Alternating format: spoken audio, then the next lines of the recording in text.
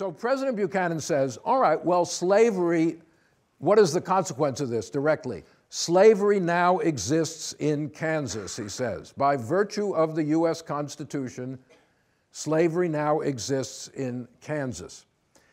But that didn't settle the question in Kansas either. And to understand this, we have to go back a couple of years to and see the development of what they call bleeding Kansas, the Civil War in Kansas, which follows on the Kansas-Nebraska bill. Um, in 1854, after the passage of that bill, so a few months afterwards, um, an election was held in Kansas for local officials, and a couple of thousand pro slavery people from Missouri crossed the border into Kansas and voted, cast votes in this election, swinging the votes in favor of pro slavery can, uh, candidates. And this became a common pattern in the next few years that many in Missouri, a slave state, many in Missouri felt, all right, look, Nebraska is going to be free, Kansas should be slave, with one on each side. We're not going to let Kansas become a free territory. Very quickly, people who were a little further removed realized there was no way Kansas was going to become a slave state. Northern migrants, northern farmers, whether Republican, Democrat, or anything, were far more likely to move into Kansas than big slave owners or people. You're not going to move there with your valuable slave property if you don't know if that property is going to be secure or not. You know, you're not going to go there if you think that they might not have slavery. And what are you going to, what, what's going to happen to all your slaves? Or they may run off in the middle of this war. So it becomes very clear that most of the settlers are coming from the north, and whatever their posi- political position, they don't want slavery there. But unless the federal government directly intervenes to make Kansas a slave state, which is what will, they will try to do. So in 1855 56 is this period of what we call bleeding Kansas, where there's literally a little civil war going on between pro slavery settlers, anti slavery settlers. Um, and um, this reverberates back. Let, now, let me show you. It's impossible to read the top, but this is a political cartoon uh, from this period showing bleeding Kansas. And the figures from left to right. Uh, this is a Republican cartoon, as you'll see.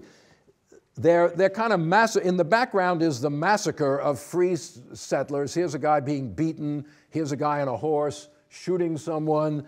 Uh, back here, some farms are burning. Uh, so there's all this chaos going on in the background. And here are the five leaders of the, of the Democratic Party, uh, or five of them. Marcy over here is a New York state leader. Here's Buchanan, uh, who apparently has stolen the watch of a murdered settler. He's got this pocket watch in his, in his hands, not the most elegant position for the president. Um, here's Pierce, the previous president, drinking a, uh, out of a bottle and with, a, with a knives and guns. Here in the middle is, the, uh, is uh, Kansas in the uh, represented as a woman kneeling with an American flag over her and the cap of liberty. Remember the cap of liberty? She's wearing the cap of liberty, but she's being surrounded by these men. Uh, here's Cass, and he's kind of bloodthirsty. And here's Douglas, who is um, scalping a, a, a, murdered settler. This is what they used to do in these Indian wars, uh, cutting the scalp off of a settler. There's Stephen A. Douglas. So this is the Republican view of bleeding Kansas. The Democratic Party is marauding and massacring and, you know, destroying liberty in Kansas, et cetera, et cetera.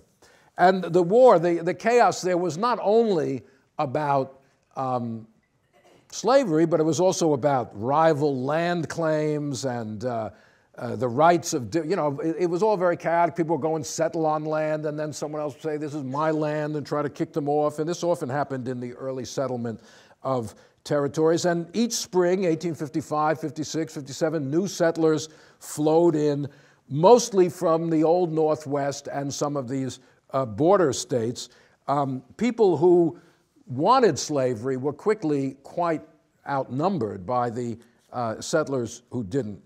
Well, anyway, Pierce, uh, uh, sorry, yeah, Pierce and then Buchanan appoint, uh, the, the, the, president can appoint a territorial governor to go out there and run things. So the first one was a guy from Pennsylvania called Andrew Reeder.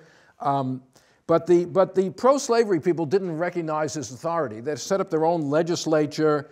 They um, passed laws like uh, the death penalty for anyone helping a slave to escape.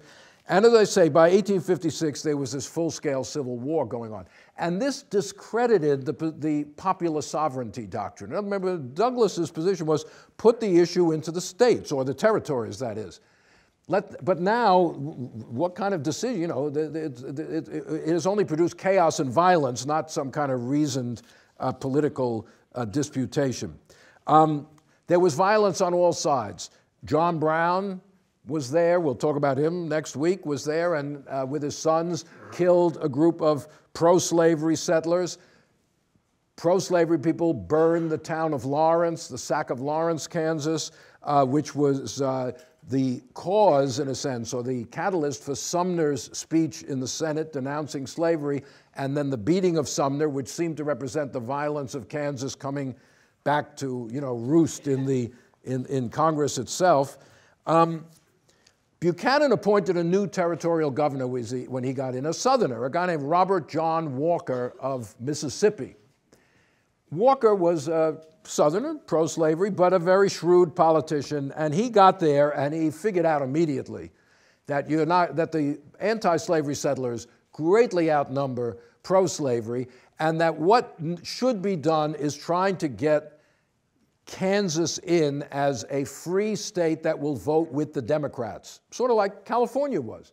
California was a free state in the 1850s, but it, it was strongly Democratic. The Republicans had very little power uh, a presence out there. This is what we, he said to be, this is what we ought to, forget about slavery. We want them to be a solid Democratic Party state, and we can do it by drawing off, right now, the free state movement is Republicans and Democrats who don't really care that much about, who, are not part of the Republican Party but don't want slavery there. We can drain, drain them off from uh, alliance with the Republicans.